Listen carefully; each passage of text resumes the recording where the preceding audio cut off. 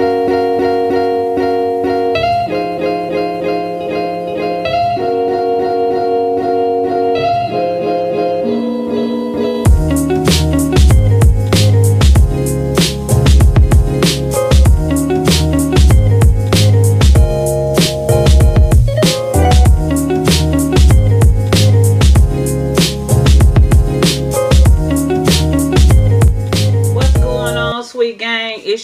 Rochelle coming to you with another video. And in this video I'm going to show you how to achieve Tiffany blue and a Tiffany apple. Okay? If you are new to my channel go ahead and hit that subscribe button. Hit that gray bell to remind you that I'm coming up with another video. And to all my subbies my sweet peeps welcome to your sweet connection. What's good? What's popping we about to get some things going in this video. So all right sweet peeps.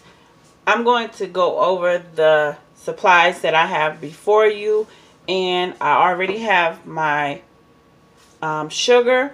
And in this video i am going to fix the full batch.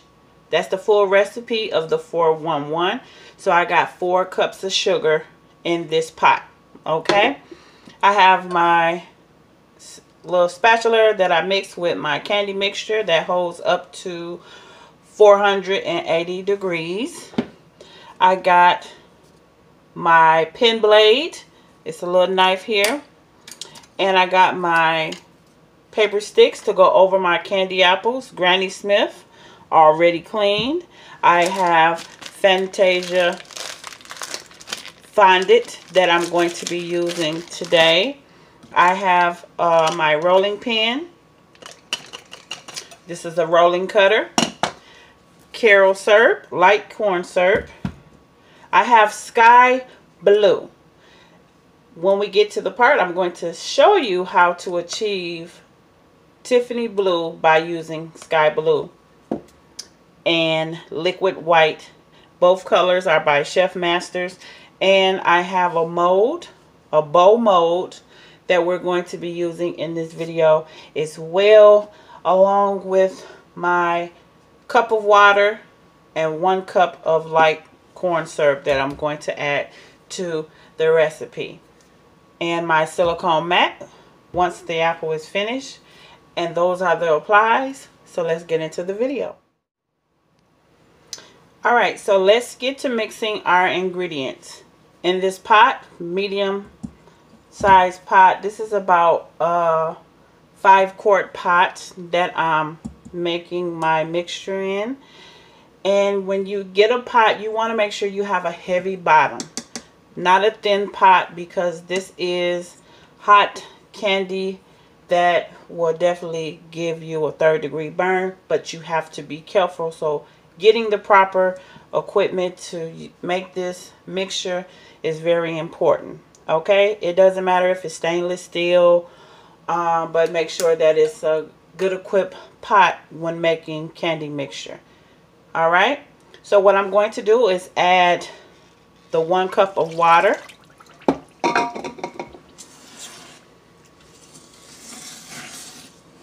Okay just mixing it a little bit before I add the Karo syrup. Okay and I'm adding the one cup of light Karo syrup. This is the 411 recipe and those that is watching this video please pay close attention of how I'm doing this mixture because this is very important when mixing all the ingredients and I'm going to add the color at the end.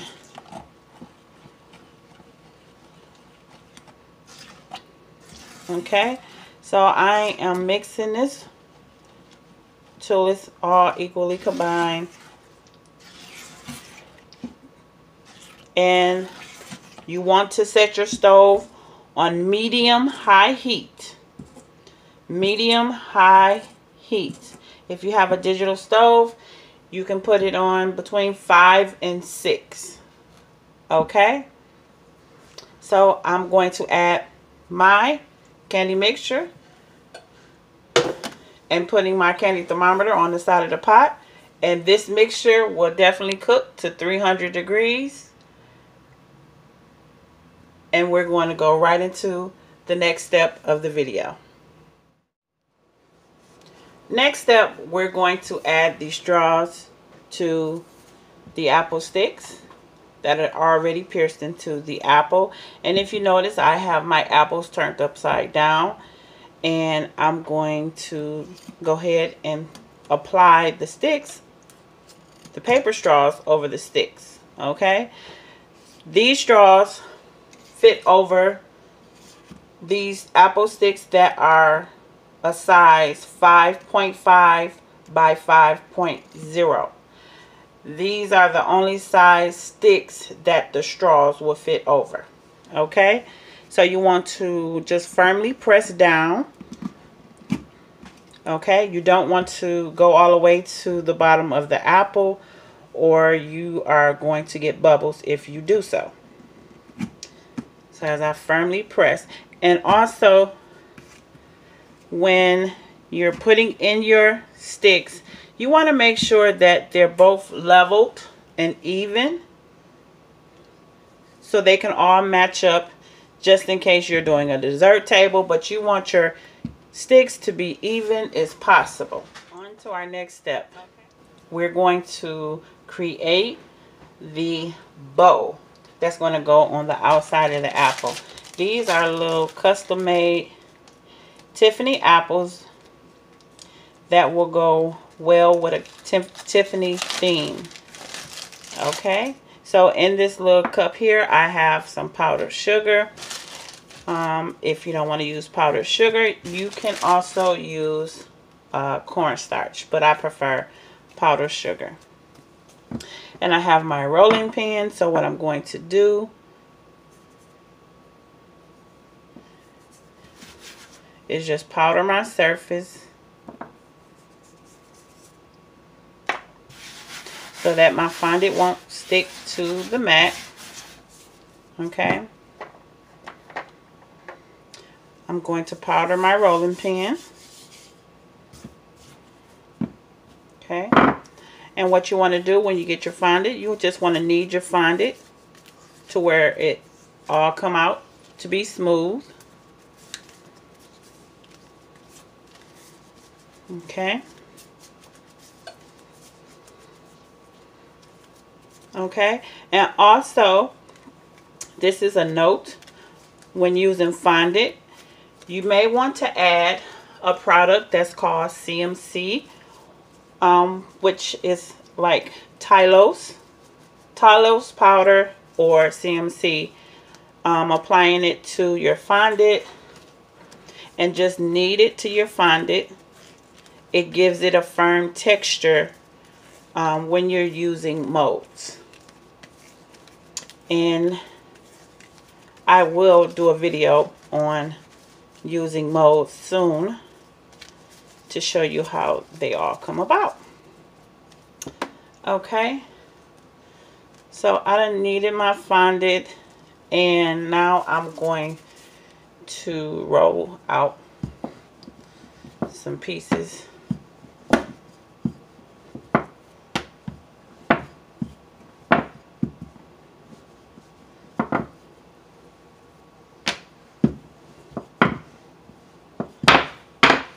Okay. So I just rolled out my fondant. Just make sure it's not too stiff. So I'm going to take some fondant. You just want to measure it out a little bit and then just applying enough to the mold. Okay, if you got too much, just break off a piece stick it with your other fondant. And make sure you keep your fondant covered so it won't dry out.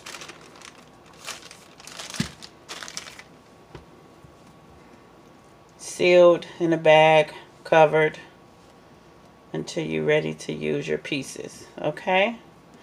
So now that I done filled in these gaps in this mold, it's a little bumpy on the outside. So what you can do is either pinch off the extra or you can take the rolling pin and just roll back and forth to get a smooth surface.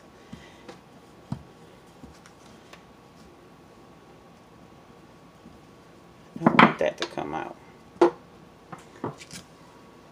Okay, as long as it stays in there. Okay, if it do come out, just start it over. to make sure it keeps its form.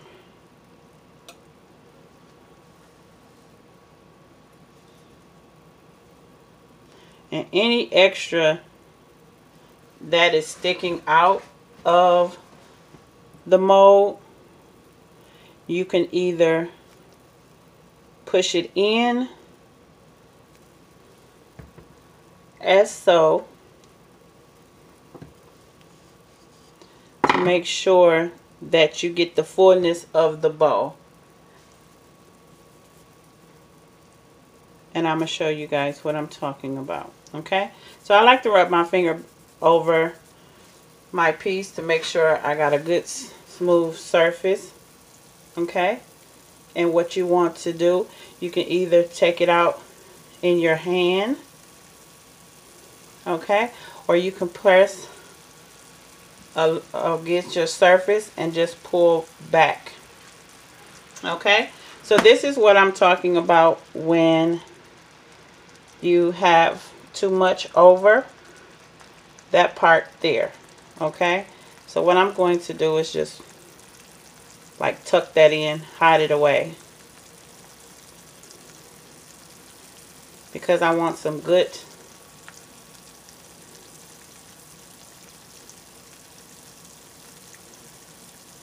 presentation when I apply it to my apple.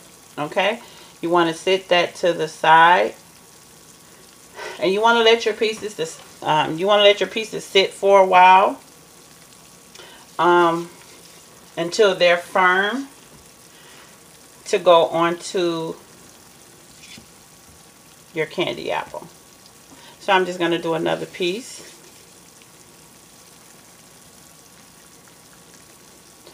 And as I stated just enough. And then if it gets to sticking to your mold just add some cornstarch or powdered sugar. Pop it out of there. And see when you get to this point and if you feel you got too much just pinch off some and then work the rest in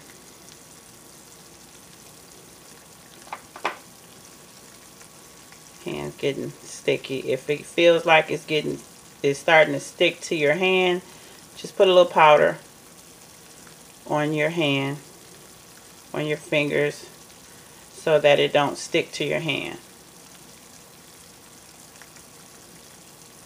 Okay, and as I stated, you can take your rolling pin, roll it back and forth, fill in them gaps.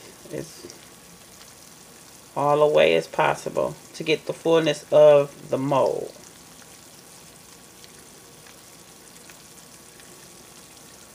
Okay.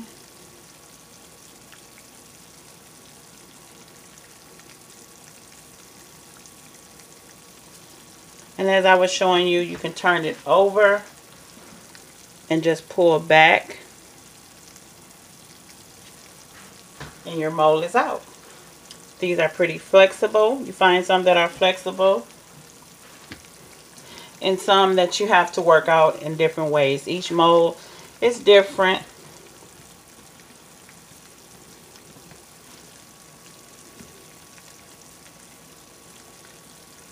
And then, as I stated, sit it to the side to get firm. And we're going to go into the next step. Now I'm getting ready to do the lines of like the gift wrap of the Tiffany signature. you know, the white stretched lines that we normally see. So what I'm going to create is two lines. And I'm going to go ahead and knead my fondant. Pressing down. And I'm going to use my roller cutter to get some good perfect lines to cover my apples. Okay, you want to roll out enough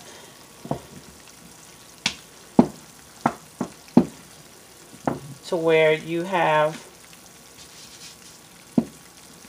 long enough lines to cover vertically and horizontally around your apple. Okay?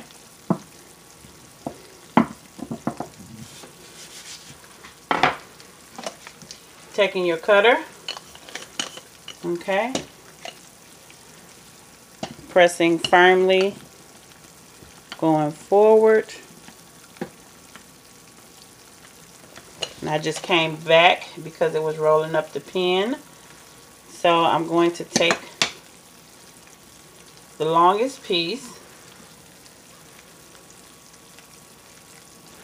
and then I'm going to sit them over to the side. Okay? If you get the little ridges on the side of the strip, just tap with your finger like tucking it in.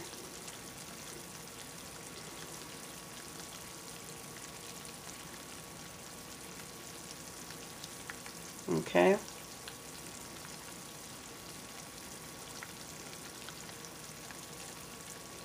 Because presentation is key. Presentation is very important. So as I stated, taking the longer pieces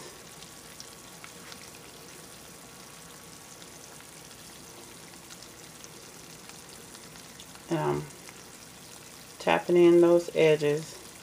You don't have to take the X-Acto knife and cut off the extra because then you'll mess up your lines. You just want to make sure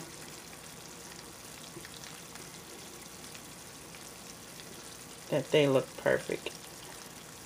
As neat as possible.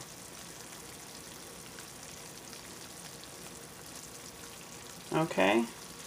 And all I did was just tapping them along the side, tapping it in.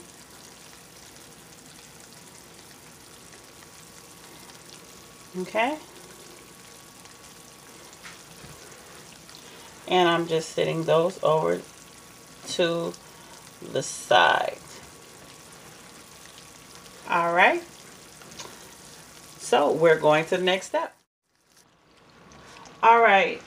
We are at a little bit past the 250 mark. And if you would like to add flavor to your mixture, you can do so. And what I'm going to add is some mango. Now, in a full batch, you can add one full dram of the LorAnn oil Okay, this is just mango flavor that I'm going to use. And you can add one dram to a full mixture, which is four cups of sugar, one cup of water, and one cup of light corn syrup. Okay?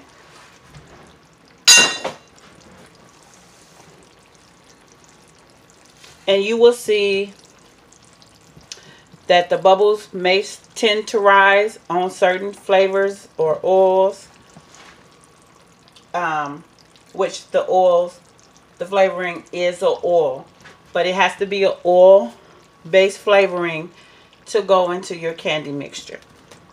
Okay? Also you are going to let your mixture get to 300 degrees. Okay?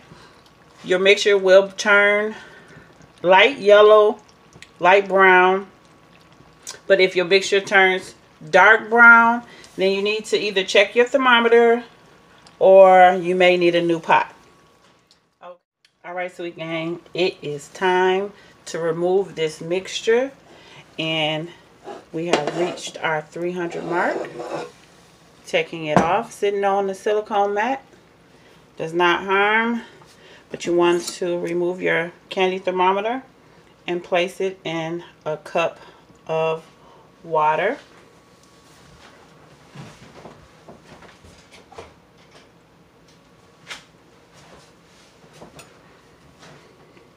So, how we achieve the Tiffany blue. Okay. So, what you need to do is add white first. Make sure it shook up well. And I'm going to add in the Chefmasters white. This one is in a bottle, so I'm just going to pour it in. So I say you want to add at least 8 to 10 drops of the white.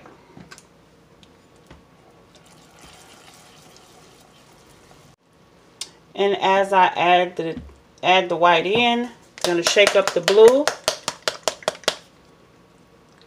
And then add a few drops of the sky blue. Now when you add it like this, you got to pay attention to the color.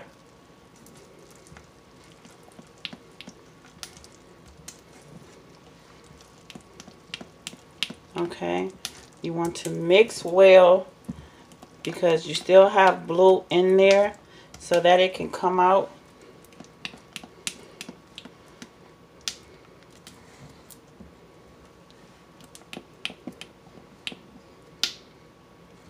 that Tiffany blue color.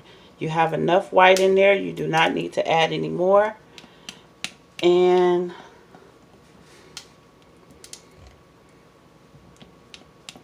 this is close. And I think we have our color.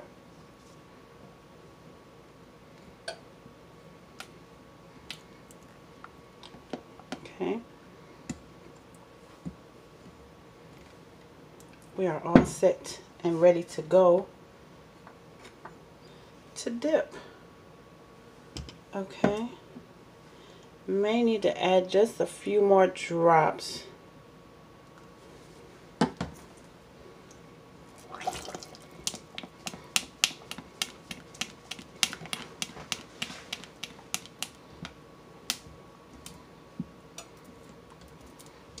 Added a little bit, two more drops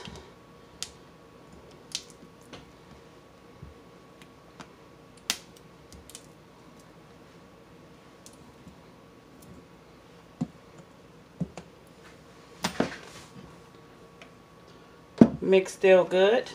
Make sure that your apple is completely dry. And we're going to dip. Tilting your pot to the side.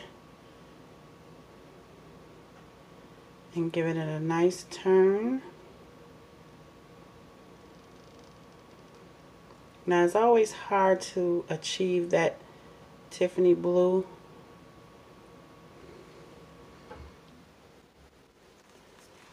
But as close as you can get it, it's good. But this is definitely one way that will work.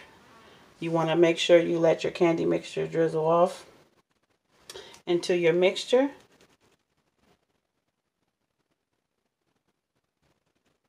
As much as possible, scraping the side of the pot. Placing it on the silicone mat. And I'm going to dip our second apple. They both look good. I got a lot in here, so I don't want it to spill out. Okay. These are medium-sized apples, so I got a lot of mixture left.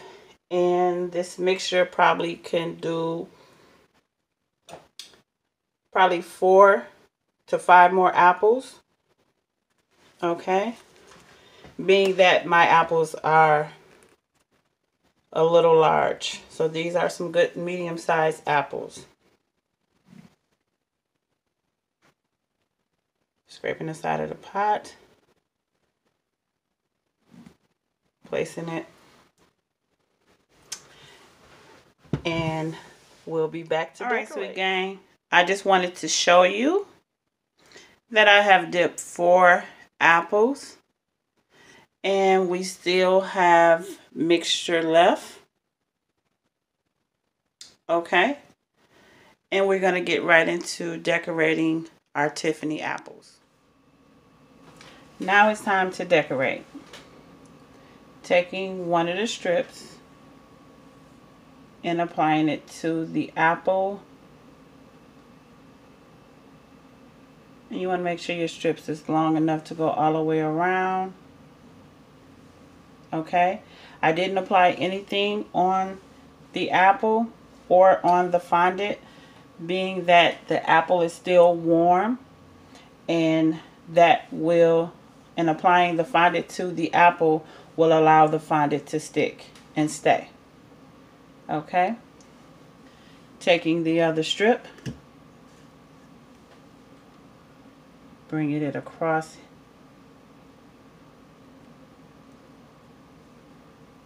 going over the top as so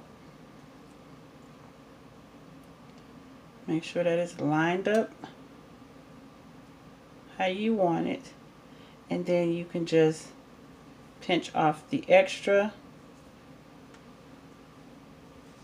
Okay. Now for your bow, you can either add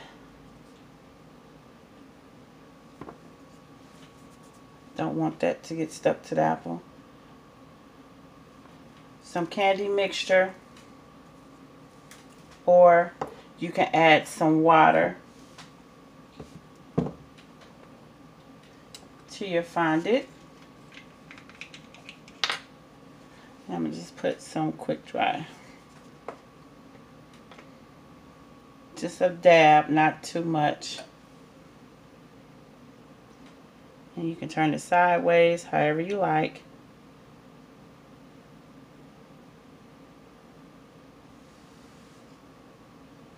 and apply it to your apple. Now you can either apply it to the fondant or apply it to your apple.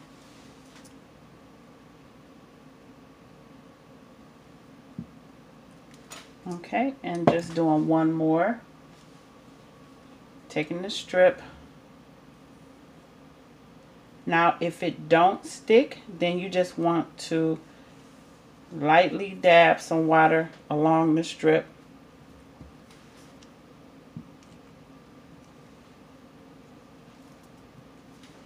Okay. Taking your other piece.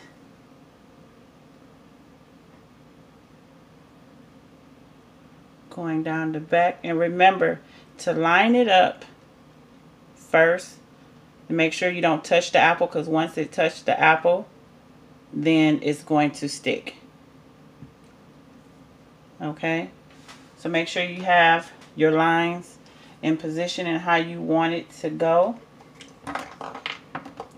Dab a little bit more water on the bowl. And I'm actually putting my bow on the apple instead of the fondant so it can stick better. So I don't have to add too much extra or not even chocolate. Now you can either melt some chocolate and put it on the back of your bow. Or you can just apply it with a little dab of water on the back.